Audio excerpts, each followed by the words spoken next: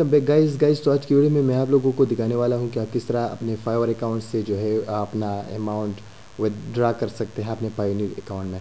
तो बहुत सिंपल है गाइस, आइए शुरू करते हैं। गाइस, मैं ऑलरेडी लॉगिन हो चुका हूँ अपने फाइवर अकाउंट में। यहाँ पर मैं जाता हूँ अपने प्रोफ़ाइल में।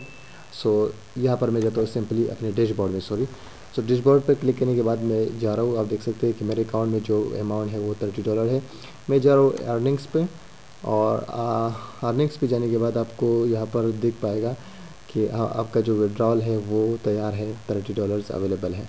तो अब यहाँ पर देख सकते हैं अपने पेपाल अकाउंट में इसको अगर विड्रा करना चाहते हैं तो भी कर सकते हैं। अपने पायनीर जो आ, आपका अकाउंट है वो आप यहाँ से बैंक ट्रांसफ़र पर क्लिक करेंगे। इस तरह फाइवर रेवेन्यू कार्ड पर भी आप क्लिक कर सकते हैं। वहाँ से भी आप इसको विड्रा कर सकते हैं। लेकिन अगर आप पायनीर अकाउंट में उसको कन्वर्ट करना चाह रहे हैं तो आप यहाँ पर क्लिक करिए बैंक ट्रांसफ़र पर मेरा जो है ऑलरेडी पायनीर अकाउंट है। तो मैं जो है उसको पायनीर अकाउंट में ट्रांसफ़र करना चाह रहा हूँ।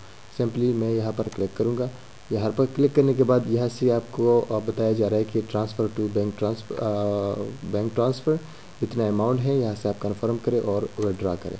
तो यहाँ पर जब जब आप क्लिक करेंगे तो यहाँ पर आप देख सकते हैं कि आपका जो अमाउंट है funds should land in your account within seven business days so मतलब ये है कि सात दिन के अंदर अंदर आपका जो अमाउंट है वो ट्रा, ट्रांसफ़र किया जाएगा आपके पाइनियर अकाउंट में।